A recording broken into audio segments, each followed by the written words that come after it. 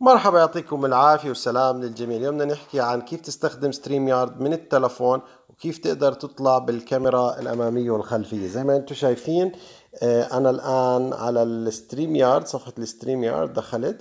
آه، طبعا أول شغلة لازم تسويها بتدخل في إعدادات الأندرويد من فوق بتعمل auto rotate اللي موجودة. إذا أنت بتستخدم آيفون آه، شوي بيختلف تسحب من تحت.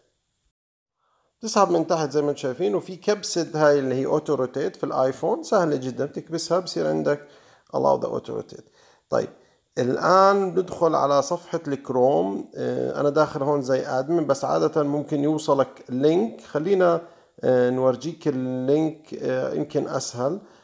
حاعمل copy لل link هلا.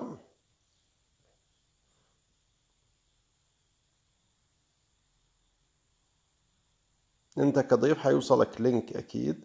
بدخل بصفحة جديدة بحط ال link في الصفحة وبدخل عليه مباشرة. قبل ما أدخل هون هيقول لي زي ما أنتم شايفين حشوف صورة. هيقول لي الإعدادات. زي ما أنتم شايفين هاي ال cam mic إعدادات. بكبس عليها.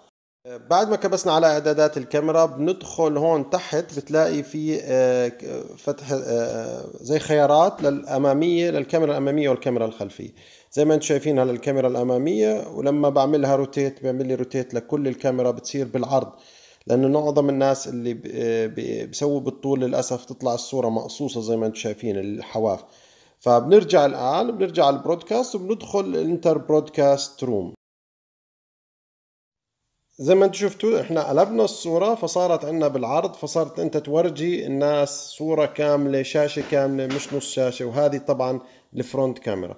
خليني أقلبها بدي أقلبها طبعا بكون الأفضل يكون معك stick لما بتقلبها زي ما أنتم شايفين بكل سهولة بتقدر تقلبها على وجهك وتحكي والناس تشوفك. هذه أنا بصور قاعد من ال front camera.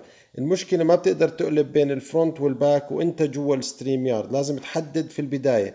بس لما يكون عندك ال front camera بيكون أوضح بتكون تصويرها أفضل بيكون أدق وبكون طبعا أنت شايف البرودكاست لما بتعمل بتصور الناس قدامك.